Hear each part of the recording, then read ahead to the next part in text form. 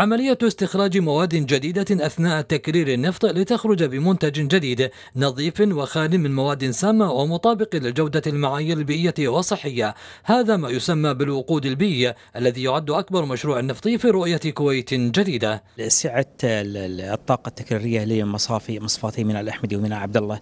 بعد الانتهاء من المشروع هذا ستكون 800 ألف برميل يوميا. المردود البيئي يتشكل في تحسين جودة الهواء بشكل كبير نتيجة أن المواصفات البيئية مطابقة لمواصفات يورو 4 يورو 5 وستكون الانبعاثات الصادرة في أقل مستوياتها ومطابقة أكثر المواصفات البيئية تشددا في أوروبا وفي الولايات المتحدة. فكرة الوقود البيئي تتلخص في استقبال النفط الخام ثم تكريره وإدخال الديزل والكوريسين وفحم الكوك والكبريت والغاز لإنتاج طاقات ومواد جديدة بمعايير صحية لها مردود اقتصادي ومالي. هو مشروع اقتصادي بالدرجة الأولى ومشروع بيئي، هو يهدف إلى تحسين جودة الهواء من خلال توفير منتجات بترولية مطابقة لإعلى المعايير العالمية.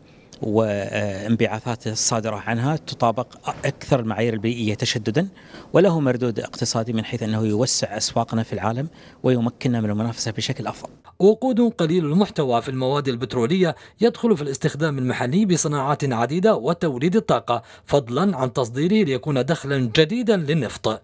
وفضلا عن الجوانب الاقتصادية والنفطية والصحية والبيئية فإن مشروع الوقود البيئي سيوفر أكثر من ألف وظيفة للشباب الكويتي والخبرات الوطنية. أحمد المسعودي لتلفزيون المجلس.